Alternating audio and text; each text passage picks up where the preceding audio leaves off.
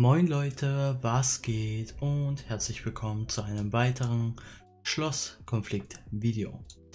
Ja, um was soll es heute gehen? Um welchen Helden? Um welche Sache? Es geht einfach um Schlosskonflikt selber. Ja, ganz simpel. Ich habe ein paar Kritikpunkte. Erstens die Pakete. Ich meine, Game, jedes Spiel muss irgendwie vorankommen, aber warum?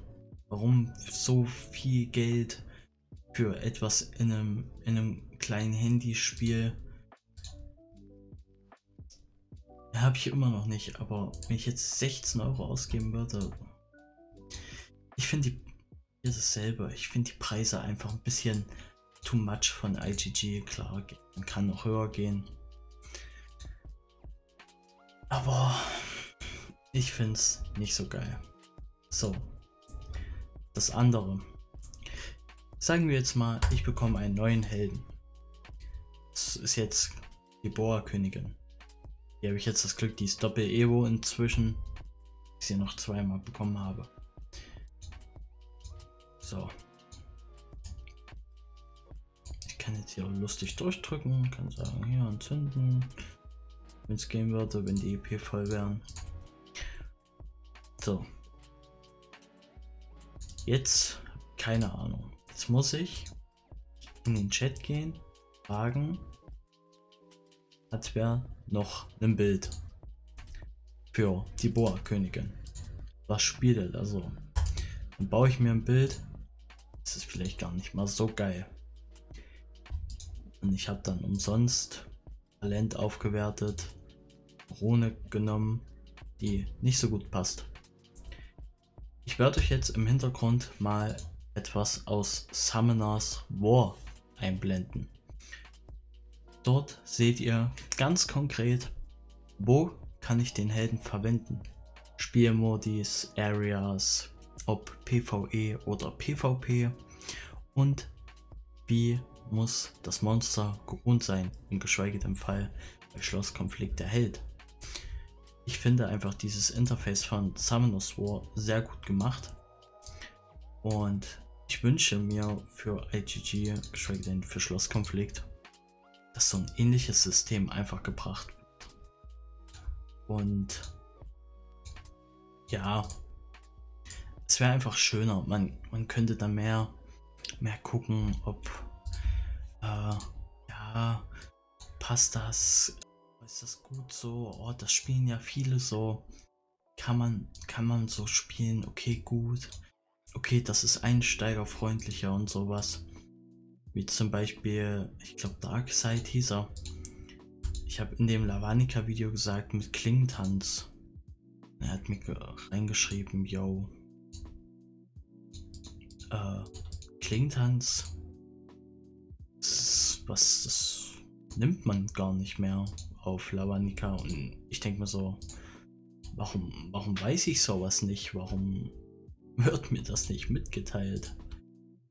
Das finde ich halt, finde ich halt schwierig.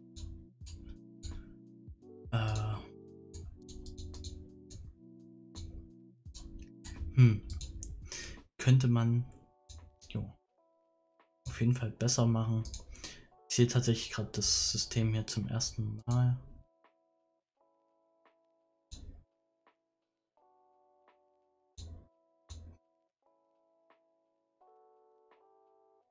Ich wusste, dass es die Relikte für andere Sachen gibt. Habe ich anscheinend verpasst. Und das letzte, was ich mir als Änderung wünschen würde, wenn wir jetzt wieder zwei neue Helden bekommen. Ich hatte jetzt das Glück, dass ich ihn einfach gezogen habe. So, wie viele von euch wissen, ich bin IGG-Partner und kooperiere ganz eng mit IGG. Jeden Monat kommen momentan 1 bis 2 neue Helden raus. Ist ja auch nichts Verkehrtes. Vom groben Ding her. So, ihn habe ich. Vom, über ihn konnte ich jetzt ein Video machen, weil ich ihn gezogen habe. Von ihm hier keinen Schimmer, So, die beiden habe ich mir gekauft, habe ich mir gekauft, habe ich mir gekauft. Hat man geschenkt bekommen, habe ich mir gekauft. Habe ich gar nicht, habe ich auch nicht, habe neulich gezogen, habe ich nicht, auch nicht, habe ich nicht, auch nicht, auch nicht. Man könnte einfach einem IGG-Partner ein bisschen helfen, ein paar Helden ranzukriegen, die er nicht hat, damit er auch noch mehr Content machen kann. Und was ich noch ganz, das können wir eigentlich im Heldenalter am besten zeigen.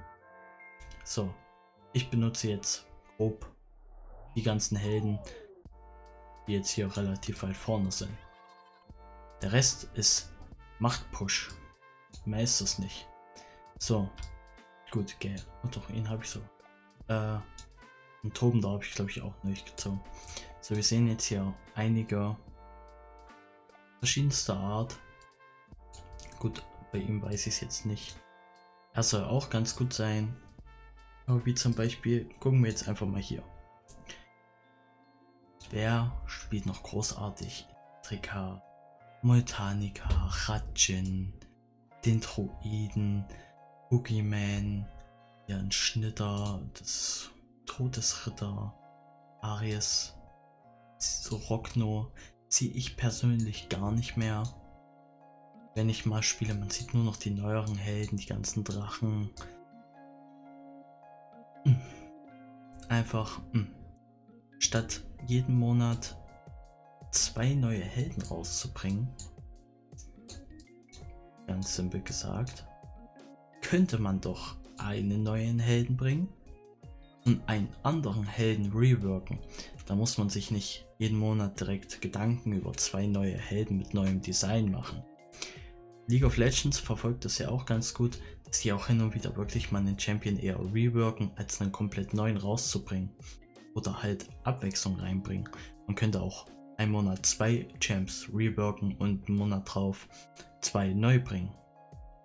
Und reworken meine ich einfach nur Fähigkeiten überarbeiten, vielleicht an Talente, die viel später kamen, ein bisschen anpassen.